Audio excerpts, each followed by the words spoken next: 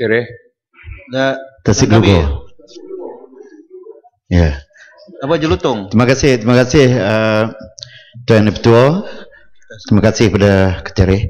Saya cuma nak mendapatkan penjelasan kenaan dengan adab dan tertib doa yang dikatakan dibaca oleh ulama dari Kelantan. Adakah boleh kita dalam mendoa ni doa supaya orang pecah perut, ya doa supaya Perdana Menteri pecah perut? Adakah ini tertib yang diajar dalam Islam? Adakah orang Ya, adakah itu di, di, di, dinamakan doa orang yang dizalimi? Karena dia mendoakan pada orang pecah perut tu lebih teruk daripada di, dizalimi. Terima kasih. Uh, minta laluan. Keteri. Keteri. Ya, baca, baca, duduk baca. Tuan Yang Dipertua, oleh kerana orang yang mengepalai doa itu tak ada dalam dewan ini, dan saya percaya bacok, pasir mas, ni yang baik-baik, dia tak akan buat macam tu. Jadi kita saya tak payah panjang.